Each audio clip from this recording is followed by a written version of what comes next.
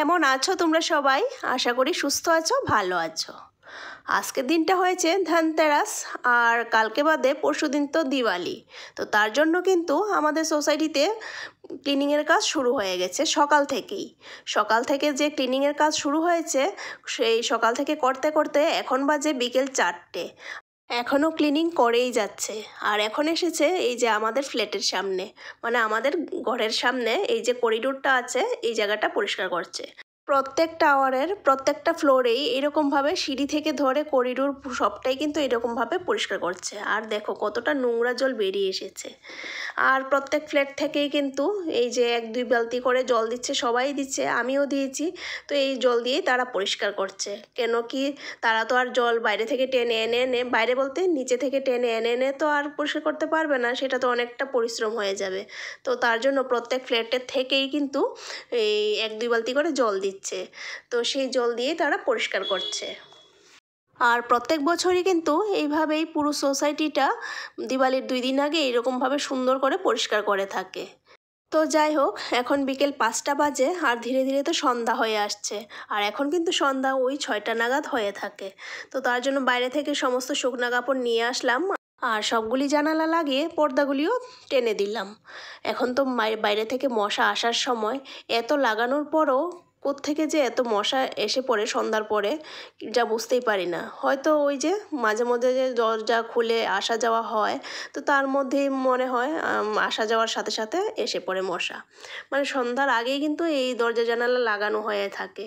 তো মাঝে মধ্যে যে ওই যে দরজা খুলে বাইরে বের হতে হয়, কেউ আসে বা আমরা যাচ্ছি, এরকম করতে করতে হয়তো বা মশা সাথে সাথে আসে। তো যাই হোক, মশা তো মানে এখন যা উপদ্রব বেড়েছে মশার, কী যে বলব? মানে মশার জন্য বসেই থাকা যায় না। এরকম অবস্থা। তো যাই হোক, রান্নাঘরে চলে আসলাম। আর এই যে বাসনপত্রগুলি সকালে যে মেজে রেখেছি, এগুলি এখন জায়গায় জায়গায় গুছিয়ে রাখছি। আর এই বাসন জায়গায় জায়গায় গুছিয়ে রাখা, এটা দিনে দুইবারই করে থাকি। একবার তো হয়েছে ওই যে সকালবেলা ঘুম থেকে উঠে ওই রাত্রের ধোয়া বাসনগুলি রাখি, আবার এই যে বিকেলবেলা সন্ধ্যার টাইমটায়। এইটা হয়েছে সকালবেলা খাওয়া দাওয়ার পর বা দুপুরের খাওয়া দাওয়ার পর যা বাসন ধোয়া ধোয়া হয়ে যা যেগুলি জমে থাকে, এগুলি জায়গায় জায়গায় এখন রাখছি।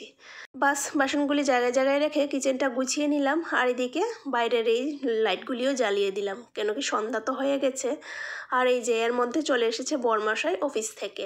আর সাথে করে নিয়ে এসেছে অফিস থেকে পাওয়া দিওয়ালি গিফট দেখো, কত বড় একটা বক্স নিয়ে এসেছে। এই বক্স ভর্তি এই আইটেমগুলি এবার দিওয়ালি উপলক্ষে গিফট দিয়েছে অফিস থেকে। সেটা প্রত্যেক বছরই দিয়ে থাকে। এক এক বছর এক এক রকম আইটেম দিয়ে থাকে। তো চলো দেখি এই বছর কি কি দিয়েছে। এই দেখো, রসগোল্লার একটা কন্টেনার দিয়েছে আর সাথে আরেকটা গোলাপ জামুনের কন্টেনার দুটো কন্টেনার দিয়েছে। আর হ্যাঁ এর আগে তো প্রথম বক্স খুলেই তো কতগুলি চিপসের প্যাকেট নামালো, সেটা আর বলা হয়নি। ওইগুলি সব চিপসের প্যাকেট ছিল। আর এই যে একটা ক্যান্ডির প্যাকেট তারপর এটা একটা ড্রিঙ্ক তারপর চলো দেখি বক্সের মধ্যে আর কি কি আছে। এই যে, এখানে আরও কিছু গিফট আর রয়ে গেছে। এটা হয়েছে কেচের একটা গ্রেভি। এটা বর্মশার পরে খুলে দেখাবে। আমি এখন এমনিতেই দেখছি গ্রেভি, তারপর এটা চিঙ্গেলসের বক্স আরও আছে ক্যালেন্ডার আছে, পালস আছে, অনেক আইটেম আছে এখানে দেখতেই পাচ্ছ। আর এটা হয়েছে ক্যালেন্ডার। এটা প্রত্যেক বছরই দিয়ে থাকে, কিন্তু এই বছর ডায়েরি দেয়নি। প্রত্যেক বছর ডায়েরি আর ক্যালেন্ডার এটা মাস্ট থাকে, কিন্তু এবছর থাকল না। ওয়াও, এটা তো চিঙ্গেলস দেখো, প্যাকেজিংটা কি সুন্দর। এটা খোলার সাথে সাথে অটোমেটিক কি সুন্দর খুলে গেছে। প্যাকেজিংটা ভারী সুন্দর। আর এটাও আর একটা কেম, ক্যান্ডি, ইমলি ক্যান্ডি, এটারও দেখেছ? প্যাকেজিংটা কত সুন্দর। মানে এটার প্যাকেজিং দেখলেই মনটা ভরে যায়। ভিতরে আইটেমটা যেই রকমই থাকুক, প্যাকেজিংটা খুব সুন্দর। আর এই ইমলি ক্যান্ডি, এটা বেশ সুন্দরই হবে খেতে। যেহেতু ইমলি, খাট্টা মিঠা হবে। আর এই যে গ্রেভিটা খুলছে, চলো দেখি এটা কিসের গ্রেভি।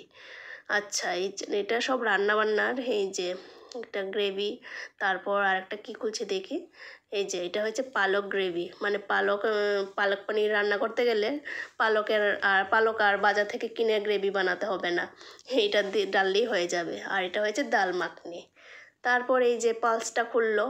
দেখো, এটার প্যাকেজিংটাও কত সুন্দর। মনে হচ্ছে যেন এটার ভিতর থেকে একটা রিং খুলবে। মানে রিংয়ের কৌটোর মতন লাগছে, তাই না? খুবই সুন্দর প্যাকেজিংগুলি মানে ওদের কোম্পানির যে আইটেমগুলির প্যাকেজিং এটা ভারী সুন্দর হয়। তো যাই হোক, এগুলি ছিল এবার ওদের দিওয়ালি গিফট ওদের কোম্পানি থেকে।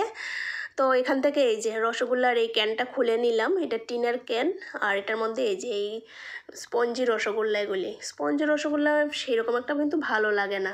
তবে এখানে এরকম স্পঞ্জ রসগোল্লাই পাওয়া যায়। তো রসগোল্লা খেতে গেলে এরকমই খেতে হবে।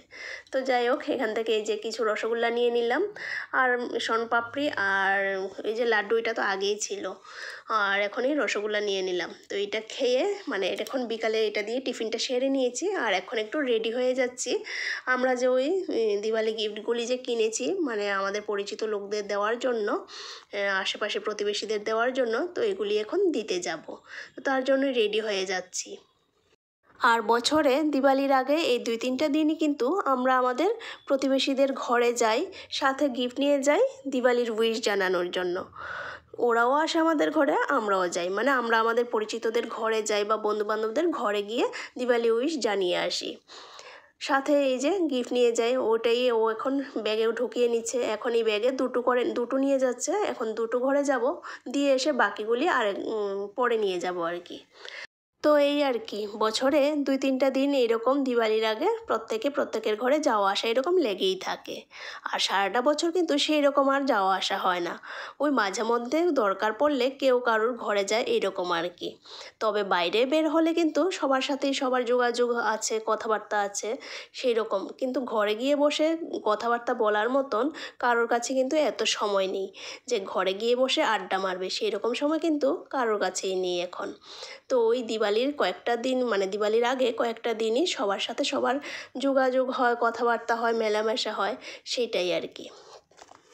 তো যাই হোক, সবাইকে দিওয়ালি উইশ জানিয়ে চলে আসলাম ঘরে। এখন ডিনারের আয়োজন করছি। আর ডিনারে আজকে করব ছানার তরকারি। একটু ছানা কেটে নিয়েছিলাম। আর সেই ছানার মধ্যে একটু নুন, হলুদ আর একটু ময়দা দিয়েছিলাম। এটা দিয়ে এখন একটু গোল গোল করে চ্যাপটা করে একটু বড়ার আকারে বানিয়ে নিলাম। এবার একটু তেলের মধ্যে ভেজে নেব, লাল লাল করে ভেজে তারপর এটা দিয়ে একটু তরকারি করে নেব। তবে আলু তো অবশ্যই দেব।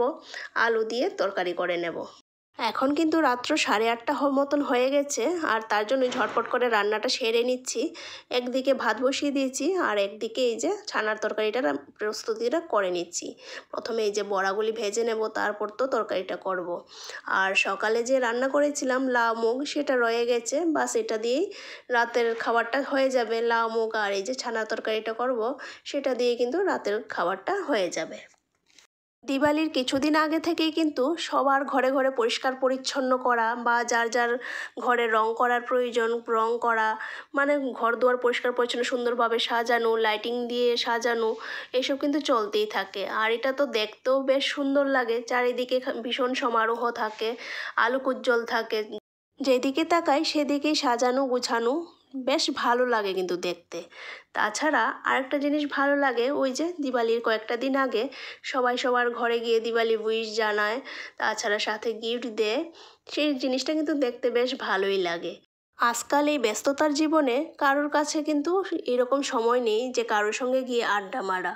কিন্তু এই দিওয়ালির দুই তিনটা দিন আগে সবার ঘরে যায় বা সবার সঙ্গে গিয়ে একটু বসে আলাপ আলোচনা করা, কথা বলা, এই জিনিসটা কিন্তু বেশ ভালো লাগে। আর এদিকে দেখো, তোমাদের সাথে গল্প করতে করতে কিন্তু আমার এদিকে রান্নাবান্না সমস্ত কমপ্লিট হয়ে গেছে। এই যে ছানার তরকারিটাও হয়ে গেল, ভাতও নামিয়ে নিলাম। এবার কিচেনটা একটু পরিষ্কার করে নেব। যতবারই রান্না করা হয়, রান্নার পর ওভেনটা না মুছলে কিন্তু ভালো লাগে না। তো চলো আমি কিচেনটা পরিষ্কার করতে থাকি। আর আজকের ভিডিওটা এই পর্যন্তই। আর আজকের ভিডিওটা কীরকম লেগেছে তা কমেন্টে অবশ্যই জানিও। ভালো লাগলে প্লিজ একটা লাইক করো। আর যারা এখন আমার চ্যানেলকে সাবস্ক্রাইব করনি, তারা প্লিজ সাবস্ক্রাইব করে আমার চ্যানেলটার পাশে থেকো। তাহলে ফিরে এসছে আবার নতুন দিনে নতুন আরেকটা ভিডিওর সাথে। তো সবাইকে আগাম দীপাবলির শুভেচ্ছা জানিয়ে আমার ভিডিওটা এখানে শেষ করছি। টাটা!